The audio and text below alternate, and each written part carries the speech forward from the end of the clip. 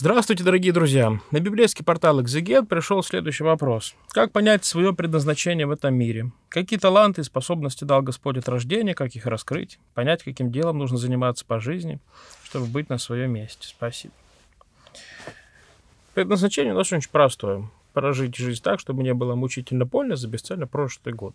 Для того, чтобы с Господом Богом соединиться всей жизни, чтобы тело и кровь Его была частью тела и крови нашей, причащаться Его, Его божественной жизни и достичь спасения, познать истину и спастись. Вот, собственно, наше предназначение в этом мире. Облагородить свою душу, воспитать ее, подготовить ее к настоящей жизни в Царстве Небесном. Сделать ее, обожить ее по своим моральным, нравственным характеристикам. Жить так, чтобы Царствие Божие, Божие было в тебе здесь и сейчас, ибо оно внутрь есть. Вот тебе и цель нашей жизни.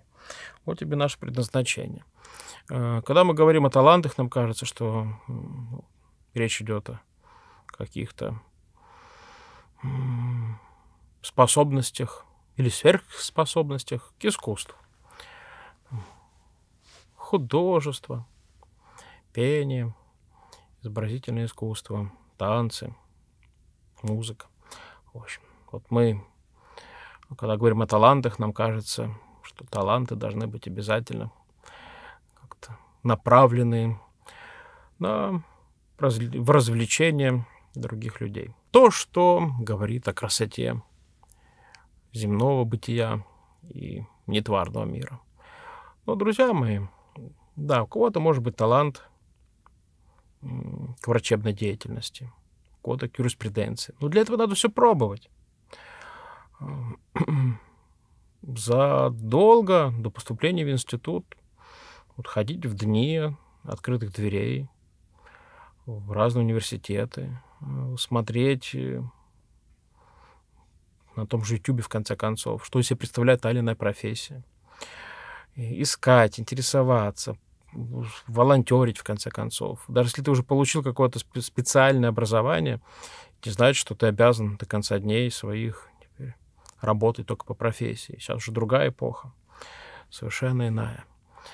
Некоторым даже мешает полученное образование, но это тоже э, некоторый самообман, потому что образование дает тебе не столько диплом, сколько умение мыслить, э, умение принимать правильные решения.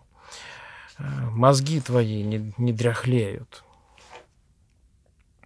Ты учишься дисциплине, ты учишься методике, познавании любых знаний. А потом, конечно, тебе легче воспринимать любую необходимую в этот год информацию.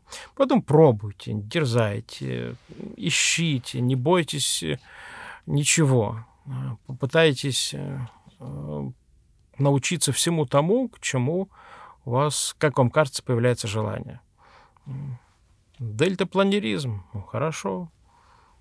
Марафонский бег, хорошо. Хочешь там диджействовать, ну, попробуй. Хочешь писать иконы, ну, давай, пойди на курсы. Решил, что ты очень хорошо соображаешь юриспруденции. Замечательно, поступай на юриста, на, на адвоката, на политолога, на кого угодно. Э, к чему душа лежит, там себя и ищите. И это не значит, что повзрослев, э, вам будет все так же нравиться эта профессия, эта деятельность поняли, что не ваше.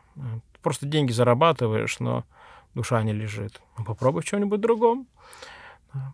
Поэтому нету воли Божией о том, чтобы ты был именно вот здесь и реализовывал свои таланты только в этом направлении. Вот. Ты должен был быть учителем, а стал врачом. Будешь, значит, плохим учителем. Не было моей воли о том, чтобы ты была учителем. Нет, Бог дает нам массу возможностей. Делай, что хочешь. Он благословит тебе любой твой выбор, который находится вот в границах допустимого Евангелия, что не причинит вред твоей душе. Так что дерзайте, ищите и обрящите, толците и отверзится вам. Ибо всяк просяй находит, и ищущему отворяется. Внеси свой вклад, оцени, подпишись и поделись этим видео.